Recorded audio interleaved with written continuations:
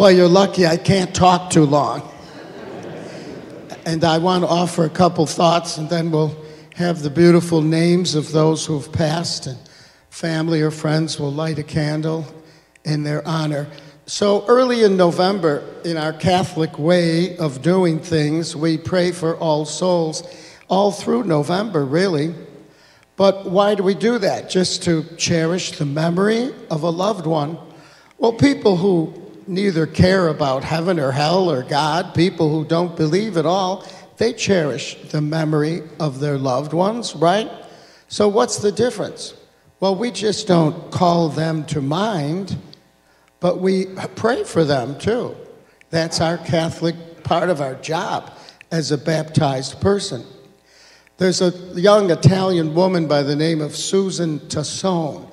She just wrote a book for children. It's called Old Friends, New and Forever. It's a book about why Catholics pray for our deceased loved ones. It's really about what purgatory is. It's a, it's a time of purgation, of cleansing, of preparing for meeting Christ face to face, the fullness of heaven. It's a gift from God to give people a little time to really get ready for the total joy of being in the presence of heaven. And in her little book that she wrote for children, she talks about this elderly man named Ray. His wife had passed away, and he makes friends with a young couple, Ben and his girlfriend, Hope. And he more or less recruits them to pray with him for his dear wife who had passed away. And they ask, Well, why are we doing this? And he explains it. He says, In our way of believing, we are connected. It's like the most ancient great granddaddy of being online together. Those who are in heaven, you and I who struggle here day by day, and those who have passed beyond our sight, but need a little nudge, maybe a little prayerful help. And so he tells the young couple, We're, we're pray, praying pals now and forever. That's what it's all about, the month of November to pray for those who have gone beyond us.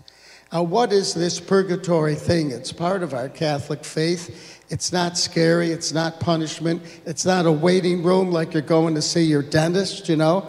No, it's just a, a way, it's a name given to whatever time someone needs to prepare for the awesome joy of the fullness of their salvation, to be in the company of heaven. I always tell the story. It's the only way I understand purgatory.